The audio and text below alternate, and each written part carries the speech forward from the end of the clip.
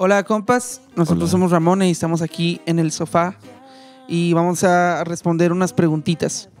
Yo voy a empezar. Tengo que buscarlo. Aquí hay una. Búsquele, búsquele, búsquele. Ya lo logré. Ahí está. Ok, vamos a leer. ¿Cuál es tu sofá favorito? El, mi sofá favorito es el de mi casa, definitivamente. Ahí hago muchas cosas, veo televisión, duermo, etc. Y es el chido. Ok, a ver. ¿Con qué artista o banda te gustaría hacer una colaboración? Mm, con el alemán. Ok, continuamos. Ah, ya. ¿Qué es lo más loco, raro que les ha pasado en un concierto? Eh, creo que lo más loco fue una vez que vimos unas personas tener como relaciones sexuales ahí en el lugar. Pero tal vez no Es algo muy completas. fuerte, sí, pero es cierto. Sí, oye, ¿verdad?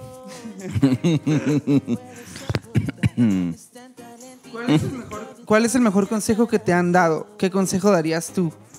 Ok, son dos preguntas aquí, ¿no? Este, el mejor consejo que me han dado, yo creo que no me lo han dado, es algo como que simplemente los putazos que te da la vida, pues creo que creo eso que es lo mejor.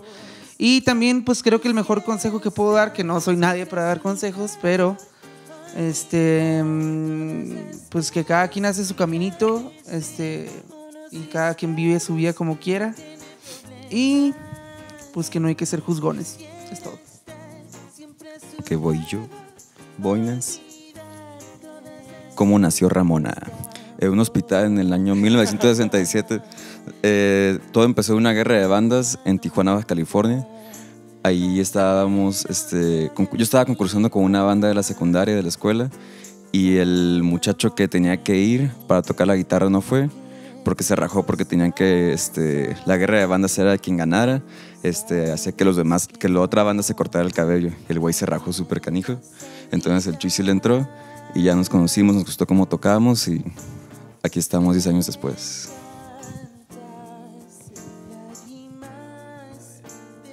¿Qué es lo que más les gusta de hacer música? Em, pues yo creo que la música es, o sea, para empezar, pues es lo más importante para nosotros porque a eso nos dedicamos. Somos músicos desde hace muchos años, pero lo que más me gusta y lo que más este le tengo cariño de la música es que para mí es como una terapia, pues, o sea, cada vez que nos metemos al estudio, cada vez que ensayamos, es como es como si hubieras no sé, yo lo comparo mucho con, con cuando haces el amor o cuando vas a correr o como todo ese tipo de cosas que te dejan como que así. Entonces, para mí eso es la música y es una terapia muy cabrona porque pues también reflejas lo que, lo que traes en, en tu cuerpo y en tu cabeza, ¿no?